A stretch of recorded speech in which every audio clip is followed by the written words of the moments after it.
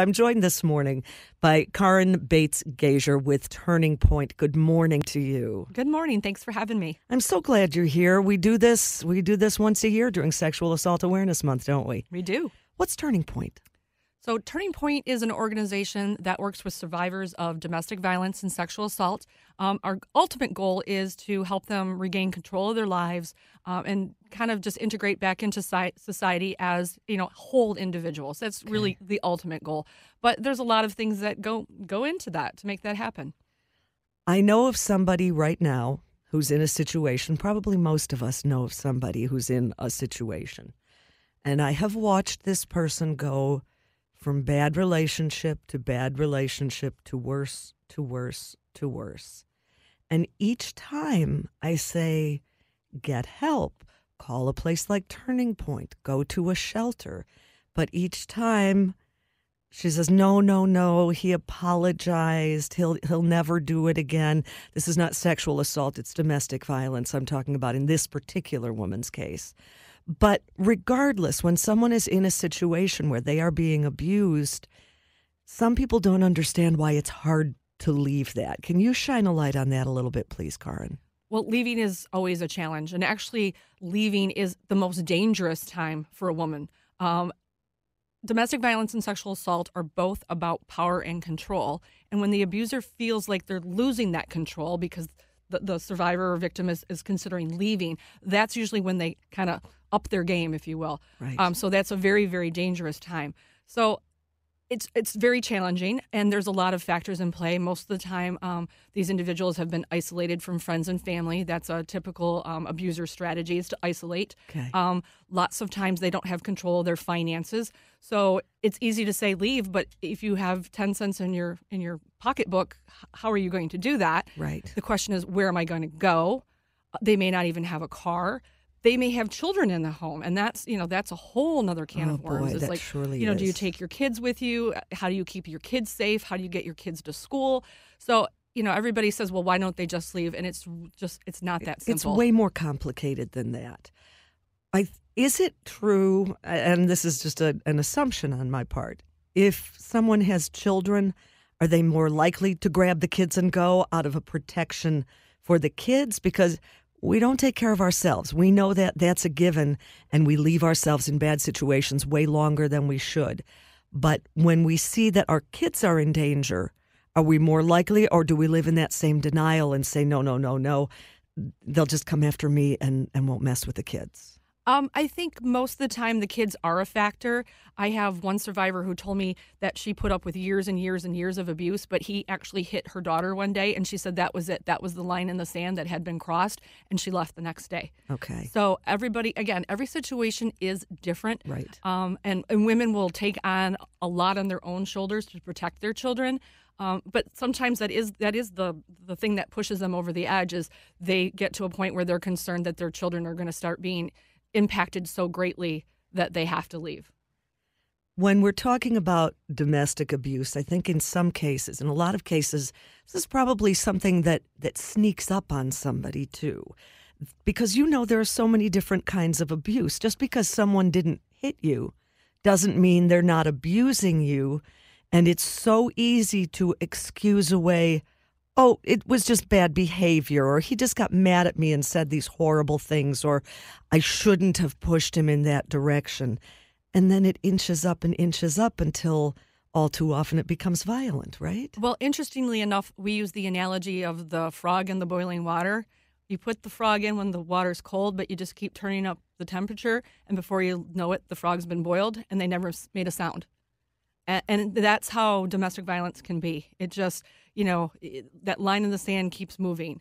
And you're absolutely correct. There's all different kinds of abuse. I mean, we we have clients that come in that the gentleman never laid a hand. I shouldn't say gentleman. Abuser never laid a hand on them. Right. But he's controlling them financially, and he's they're subject to emotional abuse and verbal abuse. And, and there's there's lots of ways to hurt somebody that doesn't necessarily involve laying a finger on them. Then there's the shame we need to get rid of the shame, don't we? We do. Um, it's never it's never the victim's fault. Right. Uh, they no matter what. No matter what. They they never asked for this. And so the, there is a lot of victim blaming and shaming that goes on and and it shouldn't. Now let's talk at length, please, about sexual abuse. This is one of those subjects that has been so top of mind, tip of the tongue, right out there. Every other conversation, it seems, has something to do with some level of sexual abuse. And I think we need some clarification right about now. Not that anyone who believes they felt abused should be told they weren't, but I think our lines are getting a little bit blurry through our discussions, don't you? I would agree with that. Um, you know, there is not a, cut and dried definition for abuse. Um, it, it, it, it, it, it's a, like you say, it's a little blurry. Um, but you know, if somebody is touching you and it's unwanted, that's you know that can be considered abuse. So you know, lots of people have their quote Me Too stories. Um, but you know, last year Turning Point did 374 sexual assault exams, so that's more than one a day. Yes, um, and that's just in our Macomb County area.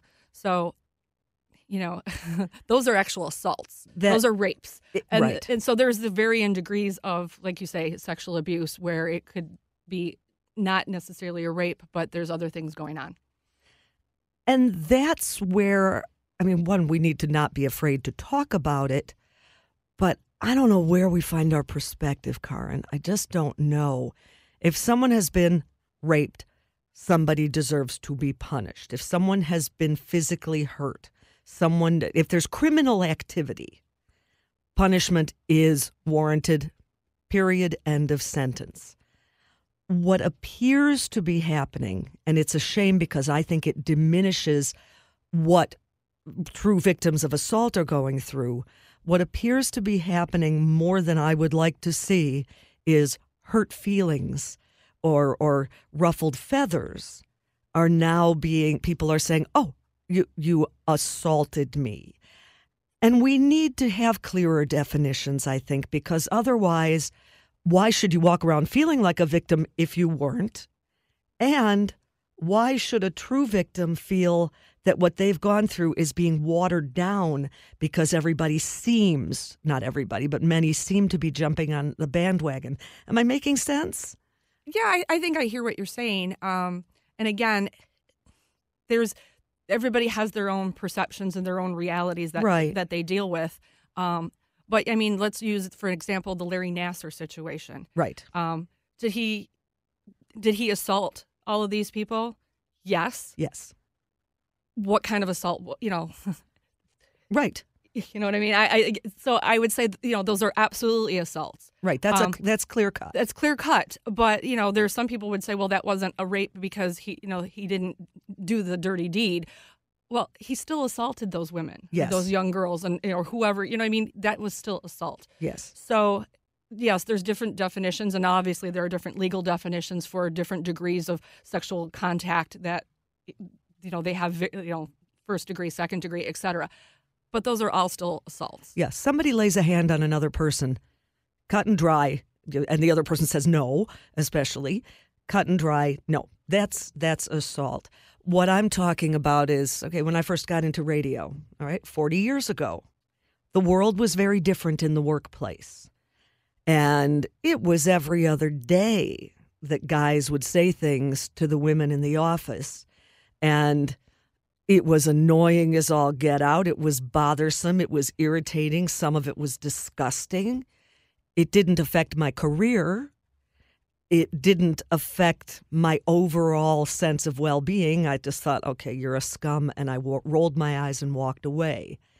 I'm hearing and seeing some women who, who went through similar circumstances to that trying to ruin people's lives and careers. And that's what I'm talking about, where it gets blurry.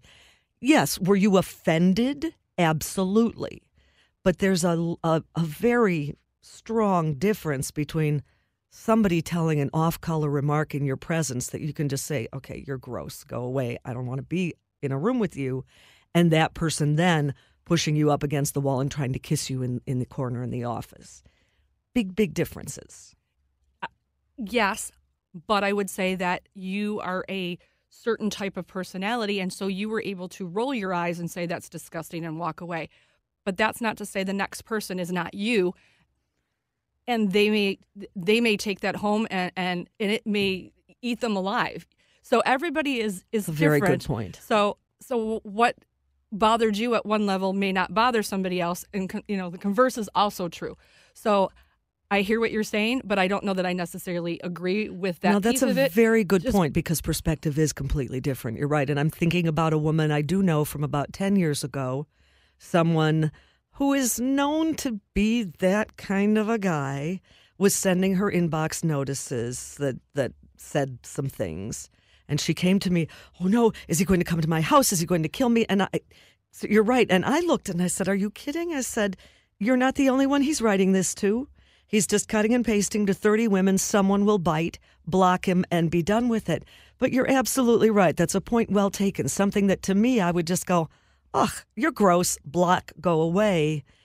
She really did take it to heart. And she did have nightmares about it and was worried about her life and her husband and her marriage, although a threat was never made. But so the, your point is very well taken. Thank you. Absolutely. So that, and that's why it, yes. it, it depends. Every person is different, Right. And so you know, I can safely say I'm I'm probably somewhat of a personality like you, and I would uh, that's probably would be my reaction. Right. But I know people that would just probably go off the deep end, and and it's, it's not it's not acceptable behavior. So Well, that's you know, for sure. So, rather than say you just block them and move on, no, we need to go to HR. This needs to stop because if we don't stop him, this is going to con- continue on, and you don't know which person he's going to get, and he, he potentially. A good worker could have been lost because of his behavior, and that's You're that's, right. that's not an acceptable option. So I I, I don't want to be disagreeable, but No, this just- is perfect perspective and what, what we need to hear. So it, it's and that's why like the victim blaming it, it just it should never happen because Right. she didn't ask for that. No, she didn't. And and I see now how I wasn't understanding because to me I would think, okay, just a scum, he'll go away. But what what if he didn't? What if he were to uh, really prey on somebody else and really the effect it had on her? I feel badly now for thinking it was an overreaction because it wasn't. It was her feeling, it was her fear, which right away gives it validity. She was assaulted in that regard. Exactly. Period. Exactly. And Period. and, and I No, guess that's a very good point. That's Thank the you. culture that that we really need to change. And and you know I I've heard this pretty much my whole life. You know, boys will be boys, or you know, it's just a man being stupid. Sorry, you don't get It's a free still pass. not okay. Yeah, right. You don't get a free pass because you have you know male genitalia. That's not how this works. Right. I don't do that to you. You don't get to do that to me.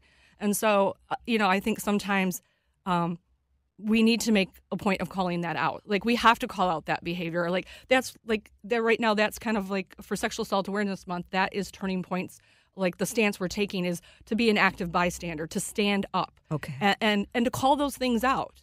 You know, I have sons, and I've heard them make jokes, and I don't let them do that. I say, you know what, that Right. is that is wrong. That is disrespectful, and you don't get to talk like that.